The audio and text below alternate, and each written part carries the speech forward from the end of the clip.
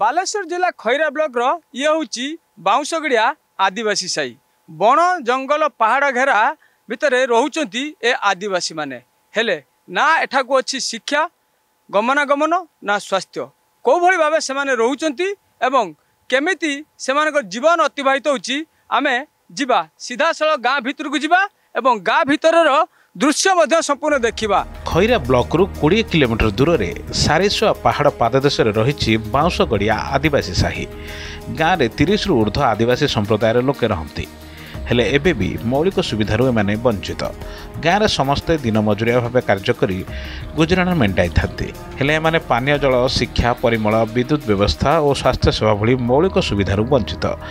ଗାଁକୁ ଯିବାକୁ ରାସ୍ତାଟିଏ ନାହିଁ। ଫଳରେ ବିଲ ହିଡ଼ରେ ଚାଲି ଚାଲି ଯିବାକୁ ପଡ଼ିଥାଏ। ଗାଁରେ ପାନୀୟ ଜଳ ପାଇଁ ଗୋଟିଏ ନଳକୂପ ବସିଛି ହେଲେ ତାହା ବି ବ୍ୟବହାର ଉପଯୋଗୀ ନୁହେଁ। ଫଳରେ ଗ୍ରାମବାସୀମାନେ ବର୍ଷ ସାରା ଚୁଆ ପାଣି ଉପରେ ଭରସା କରିଥାନ୍ତି। ପାଣି ଅଭାବ ଆମର ପାଣି ପାଇଁ ଆସିଥିନି ଆଉ ନ ପାଣି ନ ନେଲେ ହେବ ନାହିଁ।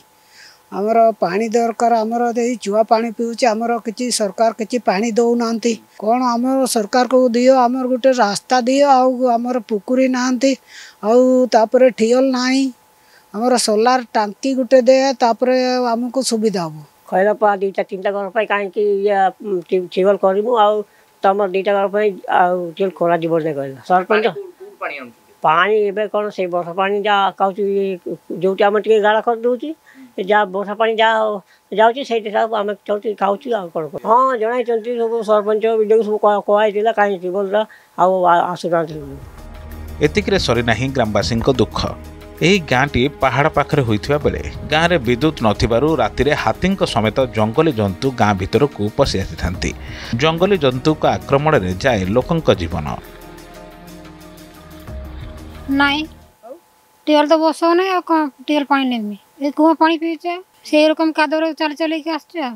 ରାସ୍ତା ବି ଠିକ ନାହିଁ ଚାଲିତେ ସୁବିଧା ହଉନି ଆମ ଗାଁରେ ବହୁତ ଅସୁବିଧା ଅଛି ଏଠି ପାଣି ପାଣି ବହୁତ ଅସୁବିଧା ଅଛି ରାସ୍ତା ବି ନାହିଁ ଏ ପ୍ରକାର ସରକାର ତ କହୁଛନ୍ତି ନା ଆମେମାନେ ସମସ୍ତଙ୍କୁ ଗାଁ ଗାଁ ଘରେ ଘରେ ପାଣି ଦେବୁ ବୋଲି କହିଲେ କଣ ଗୋଟେ ଆମର ବି ଟାଙ୍କି ପାଣି ବି ନାହିଁ କି କୌଣସି ପାଣି ନାହିଁ ପାଣି ପିଉଛୁ ଛୁଆ ପାଣି ପିଉଛୁ ଗାଁ ଲୋକ ବହୁତ ହଇରାଣ ହେଉଛୁ ହଇରାଣ ହେଲା ପରେ ବି ଆମେମାନେ ଆମେ ଯାଇକି ସାର୍ଙ୍କୁ ଜଣାଇଥିଲୁ ବି ଡ଼ି ଓ ସାର୍ଙ୍କୁ ଜଣାଇଥିଲୁ ବି ଡ଼ି ଓ ସାର୍ଙ୍କୁ ଯାଇକି କହିଲୁ ସେ କଥା ସେ ହଁ କରିଦେବୁ ବୋଲି କହିଲେ ଆମେ ଦୁଇଥର ଯାଇକି ତାଙ୍କ ପାଖକୁ ଭେଟିଲୁ ତଥାପି କଲେକ୍ଟର ସାର୍ ଆସିଲେ ମନା କରିଦେଲେ କହିଲେ ନା ଆପ୍ଲିକେସନଟା ନେଇଯାଆନ୍ତୁ ଆମେ ଦୁଇ ଦିନ ପରେ ଯାଇକି କରିଦେବୁ ବୋଲି କହିଲେ।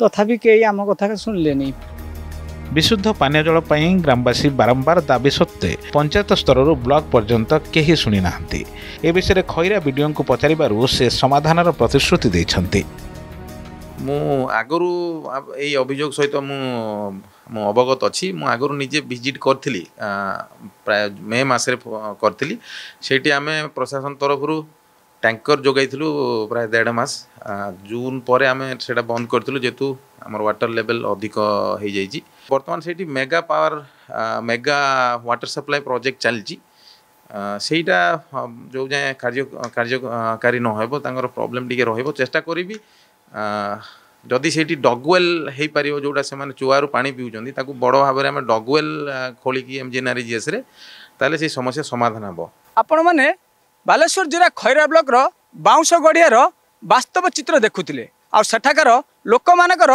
ପ୍ରତିକ୍ରିୟା ମଧ୍ୟ ଶୁଣୁଥିଲେ। ସରକାର ଗୋଟେ ପଟେ କହୁଛନ୍ତି ଆମେ ଗରିବ ଖଟିଖିଆ ଓ ଆଦିବାସୀଙ୍କୁ ଏ ସରକାର ଅଗ୍ରାଧିକାର ଦେଉଛି।